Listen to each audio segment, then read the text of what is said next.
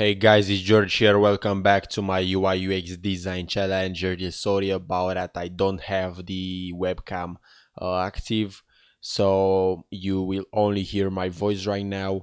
I'm not feeling like doing anything today, but the success doesn't care about how I'm feeling. So, guys, if you want to succeed in life and uh, in any uh, kind of uh, activity you have, um, the success doesn't care about how you feel man. So you have to do the work even if you don't feel like doing it.